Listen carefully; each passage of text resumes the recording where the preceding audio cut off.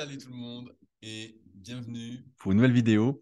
Aujourd'hui, on va parler ensemble d'un sujet sur lequel je me suis posé beaucoup, beaucoup de questions et que je teste encore actuellement, même si j'ai l'air d'avoir euh, compris un peu plus le processus. Euh, on a eu une question sur les forums Superphysique, encore une fois, cette semaine, sur euh, comment se maintenir de la part d'un sportif qui fait de la musculation l'hiver et qu'il était, bah, en général, arrête, mais à chaque fois, il reprend à zéro. il reprend à zéro. Et il se dit, bah, j'aimerais bien quand même maintenir l'été. Comment faire pour maintenir ce que j'ai gagné, tout ça Et donc, comme j'ai fait une grosse transition vers la pratique, on va dire, cardiovasculaire, cardio-respiratoire, tout ça, avec notamment le kayak, la course à pied, et toujours un peu de muscu, évidemment, puisque c'est quand même ma première passion et que j'adore m'entraîner. Et, donc, bah, j'ai cherché, personnellement, comment faire pour se maintenir au mieux, pour pas perdre tout ce qu'on avait perdu auparavant, tout ce qu'on avait gagné auparavant, pardon, la force, les muscles, parce que euh, c'est toujours chiant d'abandonner une partie de ce qu'on a construit. On se dit merde, j'ai fait tout ça pour rien. Donc, euh, on va parler de ça avec la question euh, et aussi en parler par rapport à ceux qui font de la musculation depuis, peut-être un moment, qui ont, peut-être envie de changer d'activité, qui se disent bah, comment maintenir une partie de ce que j'ai gagné? Peut-être tout, si on entend toujours que c'est plus facile de maintenir que de gagner. On va en reparler. mais avant ça, j'en ai parlé la semaine dernière. Si vous ne l'avez pas encore fait, et je rappelle qu'il y a une formation gratuite à destination des pratiquants de musculation sans dopage, en lien directement dans la description. Euh, c'est mes meilleurs conseils, ceux que je pense, c'est les meilleurs que je peux vous donner de toute façon. à partir vraiment des plus grosses erreurs que j'ai faites, c'est des longs emails, donc c'est vraiment si vous êtes intéressé, sinon c'est pas la peine, vous allez recevoir euh, des gros pavés comme mes articles et ça va pas vous intéresser. Donc si ça vous intéresse, c'est en lien dans la description, c'est pour les plus motivés d'entre vous. Sinon, voilà, mieux vaut, mieux vaut éviter, euh, ça sert à rien. ça servira à rien. Bref, c'est en lien dans la description pour ceux qui s'intéressent. Alors, je vous partage mon écran pour lire la question de Davidovich. Alors, Davidovich, tu es où? Tu es ici. Davidovich, donc j'aime bien, bien ce pseudo, il me fait sourire. Donc, qui est là? Quel entraînement de musculation pour se maintenir? Je pratique donc la musculation essentiellement l'hiver. Quand les beaux jours arrivent, je pratique d'autres sports qui me prennent mon temps libre. Cependant, j'aimerais éviter de perdre ma progression d'un hiver sur l'autre et donc orienter mon entraînement dans ce sens. Sachant qu'en période creuse, d'avril à octobre, je compte faire environ une séance par semaine. Une période creuse. Une seule séance? Ah, quelle serait selon vous la bonne stratégie? J'en vois deux. Continuer le même programme, séance A la première semaine, séance B la semaine suivante, et ainsi de suite.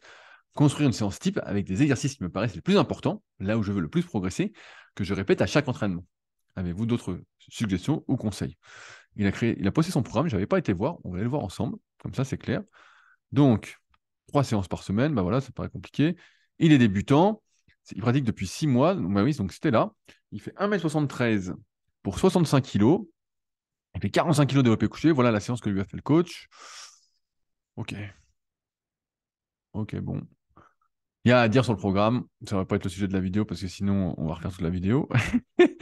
Euh, et voilà, voilà son programme. Donc, il fait trois séances et il aimerait faire une séance l'été pour maintenir. Qu'est-ce qu'il peut faire pour maintenir ses gains? Alors, on revient sur Davidovich, on a vu son programme, il fait un peu mal. Euh, et je voulais revenir sur plusieurs choses.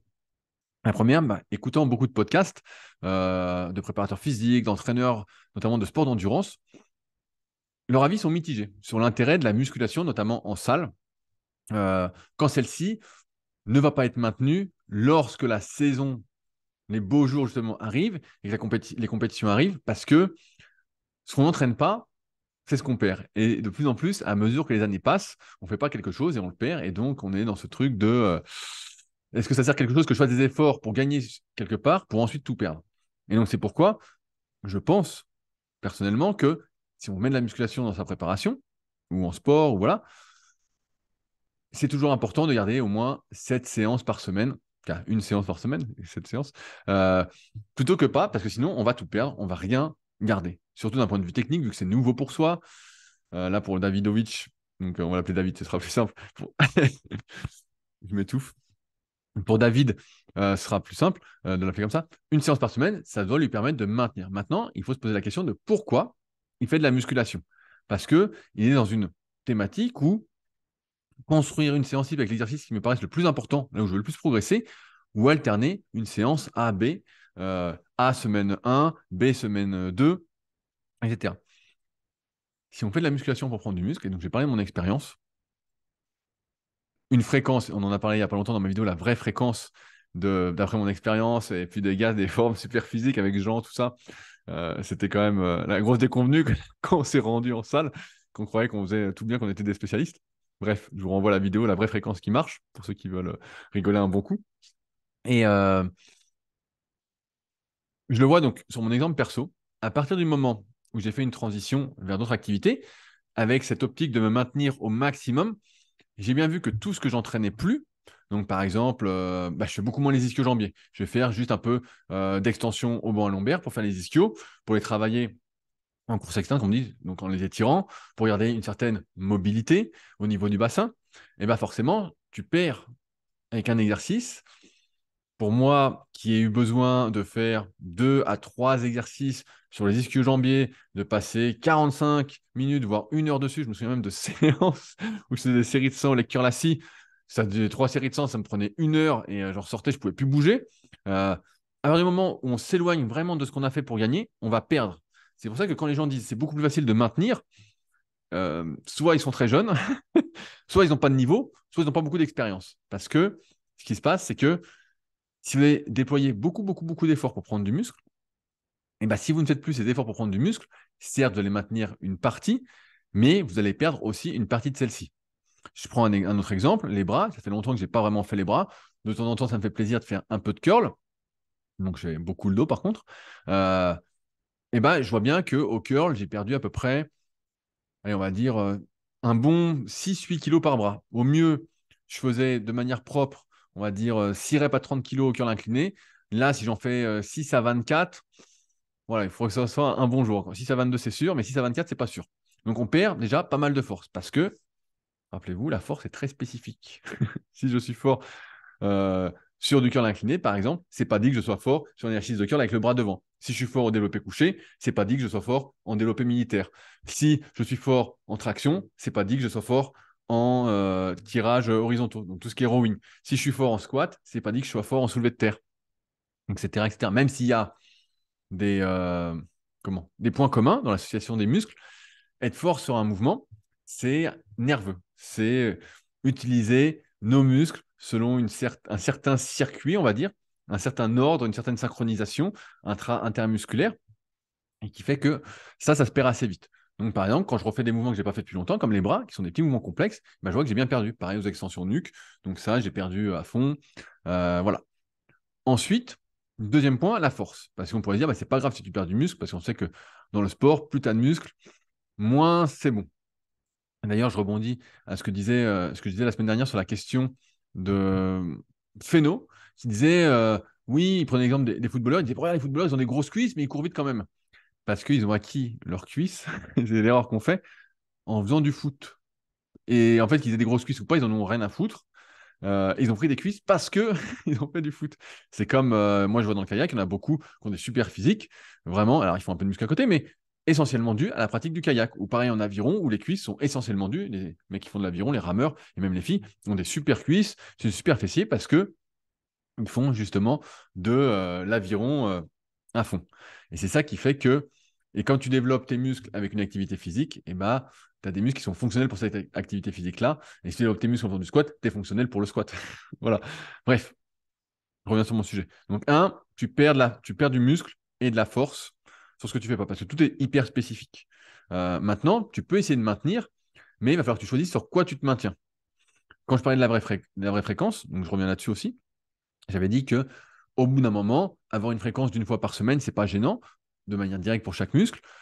Ça permet de progresser pour la majorité des gens et ça permet même de faire pas mal de volume. Donc, premier point pour euh, Davidovich. Continue le, même programme avec séance A la première semaine, séance B la, semaine suivante et ainsi de suite. Ça, c'est pas la bonne solution, surtout quand on débute. Euh, là, il va avoir une petite période creuse, donc il va pouvoir enchaîner, enchaîner, enchaîner. Donc, ça, c'est bon. Mais, euh, je revois un petit coup. Hmm il va pouvoir enchaîner. Euh, mais là, le fait d'espacer trop les mouvements, il va perdre nerveusement en synchronisation, il va perdre aussi en muscle parce que la, sollicitation musculaire sera plus assez importante. Je veux bien qu'une fois par semaine, voilà, on puisse discuter. Une fois toutes les deux semaines, à moins d'être vraiment, vraiment un pratiquant très confirmé et en même temps de faire des séances légères à côté pour la récupération, pour l'apprentissage moteur ou que sais-je encore, ça ne marche pas. Donc, c'est pas assez. Euh, maintenant, est-ce que s'il fait une séance par semaine avec les exercices principaux qu'il fait, est-ce qu'il va se maintenir? Il y a de fortes probabilités qu'il maintienne. Il maintienne sa force, il maintienne une partie des muscles qu'il a développés parce qu'il est débutant, donc ça va aller. Mais tout ce qu'il va pas faire, bah, il va perdre. il faut avoir confiance. Il va perdre. Et moi, j'ai du mal avec cette unique séance par semaine ou alors vraiment sans forcer parce que, on le voit bien, peut-être c'est votre expérience aussi, quand on fait quelque chose qu'une seule fois par semaine, on a souvent des courbatures horribles. des courbatures horribles. Et donc, ce n'est pas le but. Ça fait des entraînements qui sont handicapants pour le reste des autres activités, pour la vie de tous les jours. Et donc, quand on veut prendre du muscle, eh ben, ce n'est pas gênant parce que c'est l'objectif principal. Mais là, ce n'est pas le but principal. Par contre, et je veux revenir là-dessus, donc le 2, construire une séance type avec les exercices qui me paraissent les plus importants, là où je veux le plus progresser. Si tu ne fais qu'une seule séance de musculation par semaine, la progression, c'est terminé. la progression, c'est terminé. Si la fréquence de sollicitation d'une fois par semaine, comme on en parlait dans la vraie fréquence, fonctionne de manière directe, c'est parce qu'à côté, indirectement, on travaille aussi ces muscles. on les travaille aussi. C'est donc pas une vraie fréquence une fois. Mais s'il n'y a qu'une seule vraie fréquence une fois, avec des exercices relativement lourds, et voilà, et d'autres activités ou les activités, l'aspect musculaire d'un point de vue nerveux, des charges qu'on va soulever, de la force qu'on va produire est très éloigné de ce qu'on va faire en salle de muscu, on va perdre. On va pouvoir maintenir. Et ce que j'ai remarqué justement, c'est là où je veux en venir aussi, c'est que cette histoire de maintien, comme je disais tout à l'heure, on perd pas mal. Moi, j'estime que j'ai perdu un bon 15%. Donc, j'ai dû perdre, je peux pas mais bien 5-6 kilos de muscles avec deux séances par semaine. Alors, je ne fais pas tout dans les séances parce qu'elles durent déjà deux heures et demie, facile, sans trop forcer et euh, sans prendre vraiment euh, des longs temps de récupération, donc loin de ce que je pouvais faire euh, auparavant. Deux heures et demie avant, c'était ce que je pouvais faire pour travailler deux muscles. Et encore, il fallait pas trop que je traîne.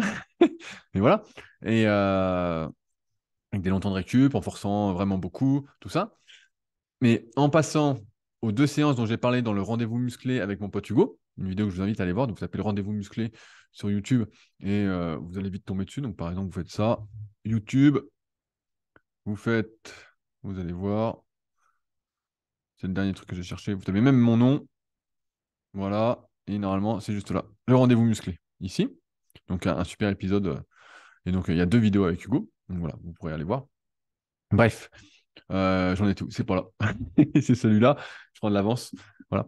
Euh, c'est que en faisant deux séances par semaine, voilà, je pense que j'ai perdu à peu près 15% de ce que j'avais gagné. Mais dans un sens, c'est pas très important pour moi parce que je fais d'autres activités qui me sur lesquelles j'ai plus de marge de progrès et donc ça m'intéresse et ça me motive.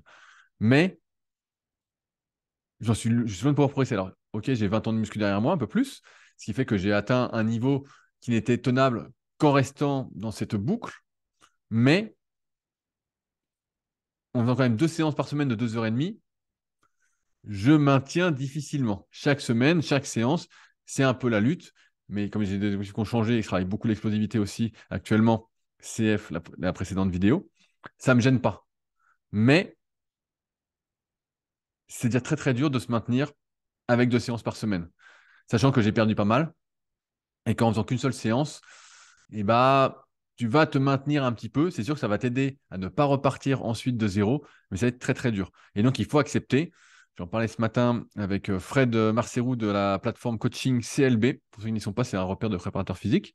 Euh, on parlait de ça et il faut faire un peu le deuil d'une partie des efforts que tu as fait, euh, du niveau que tu as eu pour accepter, entre guillemets, ton niveau niveau, mais pour autre chose, parce que la vie est longue et tu n'as peut-être pas envie de faire qu'un seul truc. Mais voilà, je pense qu'une séance par semaine, c'est bien pour ne pas repartir de zéro. Tu vas garder peut-être 80% ou 80%, 85% de ton niveau que tu avais développé auparavant. Et quand tu vas reprendre à deux ou trois séances, trois séances, c'est mieux que deux. Je dis souvent quand on me contacte pour du suivi coaching à distance que c'est mieux trois fois, deux fois en général.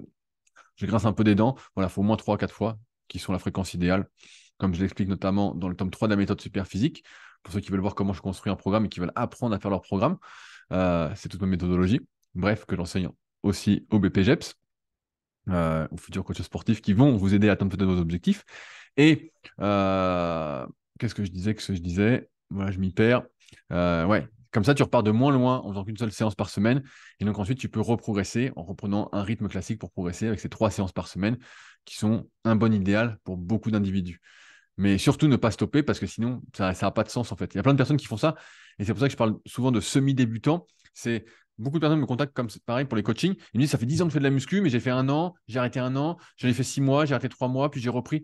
Ça, c'est le pire. Et je vais vous donner le secret d'une vraie transformation physique, comme à chaque fois. Le secret, il n'est pas compliqué, c'est de jamais s'arrêter.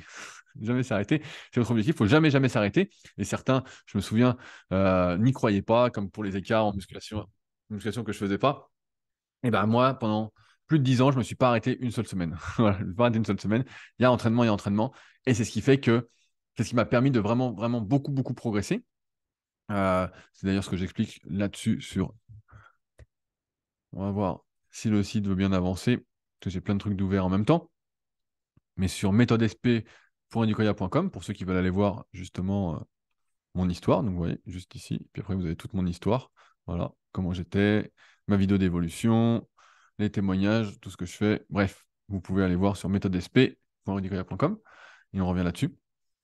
Mais euh, ouais, surtout ne pas arrêter et maintenir, bah, vous n'allez pas tout maintenir. Dès que, en plus, il y a toujours ce truc de quand je fais quelque chose juste pour me maintenir, je suis moins motivé et donc je mets moins d'intention, moins d'intensité, je suis moins dedans, ça m'obsède moins et donc j'y arrive moins. J'y arrive moins et donc c'est très dur de maintenir, mais on peut maintenir, pour l'instant en tout cas à mon âge, je suis encore jeune, 80-85%, ça me paraît bien, mais euh, c'est comme en sèche. C'est comme en sèche pour ceux, mais j'ai pas de bouquin à côté. Comme dans le guide de la sèche au naturel, j'explique sur la partie entraînement. Parce beaucoup de personnes en sèche se disent euh, oui, il faut que je, je m'entraîne plus léger, je fasse plus de répétitions, je réduis le temps de récup. Surtout pas. Si tu fais tout l'inverse de ce que tu as fait pour prendre du muscle, tu vas faire du muscle beaucoup plus rapidement.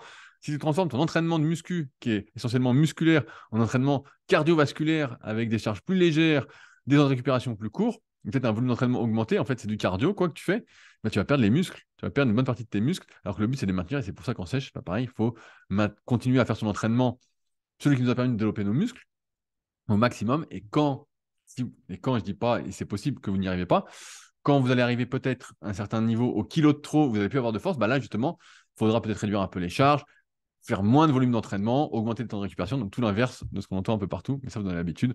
On entend de toute façon que des conneries, des conneries et des conneries. Je me remets en grand pour la fin de cette vidéo. Bref, j'espère vous avoir partagé mon expérience euh, sur le sujet. Euh, et pas trop vous avoir déprimé s'il y en a qui souhaitaient passer à autre chose, tout ça. Mais euh, c'est des sujets qui m'intéressent et que je teste. Pareil avec d'autres copains, j'en discute, qui ont changé d'activité, comment se maintenir au mieux, sachant que aussi pour la santé, c'est quand même bien d'avoir une certaine masse musculaire, d'avoir un peu de force. Mais point trop n'en faut, ça vous le savez aussi. Mais bon, bref, la muscu, c'est quand même d'être le plus musclé, le plus fort possible. Euh, ça, j'ai bien connu et ça m'a bien animé pendant euh, bien, bien, bien longtemps. Allez, sur ce, je m'arrête là pour aujourd'hui. Si vous avez des questions, des précisions, tout ça, dans la partie commentaires, le pouce bleu, n'oubliez pas. À chaque fois, je vois plein de vues et presque pas de pouce bleu. Qu'est-ce que vous faites, les gars? Cliquez sur le pouce bleu, je ne sais pas. Et, Aidez-moi à propulser les, vidéos un peu. Euh, et puis l'abonnement si vous souhaitez ne pas louper les prochaines vidéos. Sur ce, à la semaine prochaine. Salut.